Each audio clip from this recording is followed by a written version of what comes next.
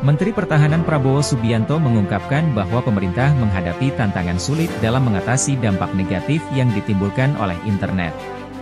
Meskipun pemerintah memiliki kemampuan untuk membatasi akses internet bagi masyarakat Indonesia, Prabowo menyatakan pentingnya kesadaran diri dalam penggunaan internet, di mana orang tua sekarang dapat mengambil langkah-langkah untuk mengawasi anak-anak mereka dan memastikan mereka tidak mengakses konten yang tidak pantas. Namun, ia juga mencatat bahwa masalah ini perlu dicatat dan akan disampaikan kepada pihak berwenang terkait.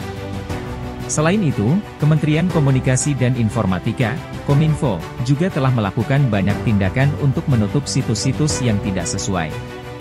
Menurut Prabowo, di beberapa negara, ada pembatasan dalam penggunaan dunia maya, namun dia mengungkapkan kekhawatirannya bahwa kebijakan semacam itu dapat disalahgunakan oleh penguasa yang memiliki kekuasaan otoriter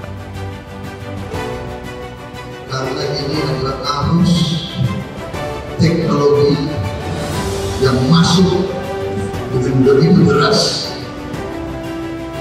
ke bangsa kita. Ini tantangan yang sangat berat. Saya sendiri juga tidak bisa, saya mau jujur mengakui. Telisik TV Saya sendiri belum mengabarkan